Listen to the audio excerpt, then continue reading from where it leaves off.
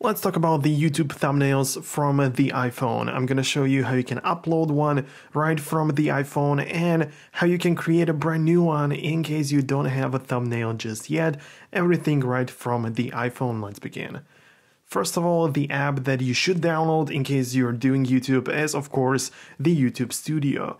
It's free, it's original from Google, so go ahead and download it and log in with your Gmail and Google account. So there you should be able to see all of your videos just like this and make sure to tap on one of the videos that you want to edit or that you want to up, uh, upload the thumbnail to and click on the pen which indicates the edit icon and click on the pen once again next to the thumbnail and there you should see four options.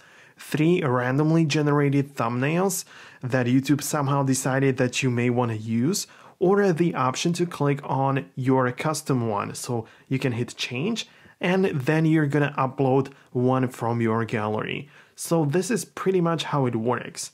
One problem could be there that you do not see anything else besides the three randomly generated options. That means that your channel doesn't support own custom thumbnails. In that case, it's to be a little bit more complicated because you have to verify your channel with your phone number. For this, it's best to do it on a computer, like on the desktop version of the YouTube Studio, but it's theoretically possible to do it from the iPhone as well. You just have to use Safari or other web browser and access the desktop version of the Studio app. Once you are there, then make sure to navigate to the left side and there you're gonna see the settings, so make sure to click on it. And there, if you scroll again, I mean, you don't even have to scroll, you can see it right on the left. That is the channel option, right? The second one, and then click on feature eligibility. And there you can see that uh, some features require phone verification, and that includes custom thumbnails. So for this, you will of course need your phone number. You're gonna have to type it in, and someone either calls you or they use like a code verification. So pick whatever you want, but you're gonna have to go through it in case you want to at least be able to upload your own thumbnails. By the way, guys, if you're new on this channel, I try to cover videos and topics like these just so I can help you with your YouTube channels and your iPhones, iPads, Apple Watches. It's like a main, mainly Apple channel, so make sure to subscribe so you don't miss the next uploads and the next videos. You can also support this one with your thumbs up. That would of course be appreciated. Okay, once you have this set up, that means that you can upload thumbnails, then it would be a good idea to create one, right?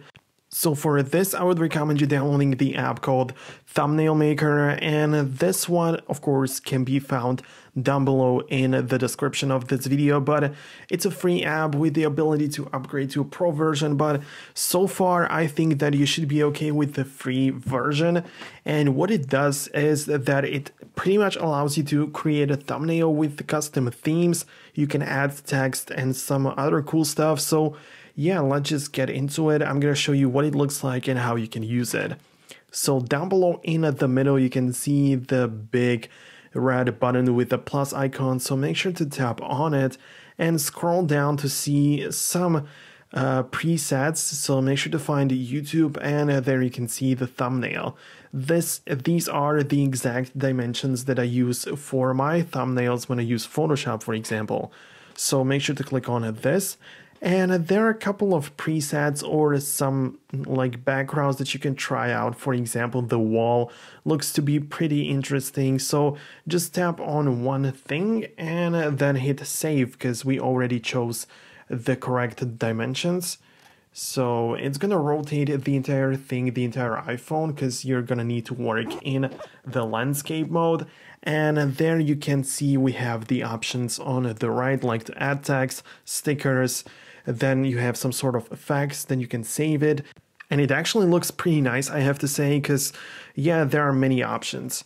So you can, for example, add text. This is probably to be the most important thing. Of course, you're to have to play around with it, but uh, it seems to be pretty pretty cool looking so far.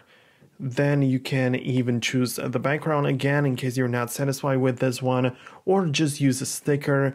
I mean, some of them are of course like available to you for free but for some of them you're gonna have to up upgrade to the pro version like there are many things that you're missing out if you don't upgrade so i think that they're doing a great job at convincing people to to make sure and pay for the app but you can of course uh, use like your own photos from the gallery to to like upload them to the thumbnail I mean, yeah, it looks it looks pretty good, and there are many possibilities on what you can do with it. Plus, if you also have like an app which allows you to like cut out the image and delete the background, that's perfect in combination with this app. So, like I say, you can add some text, images, and whatever you want. Right now, it's up to your creativity.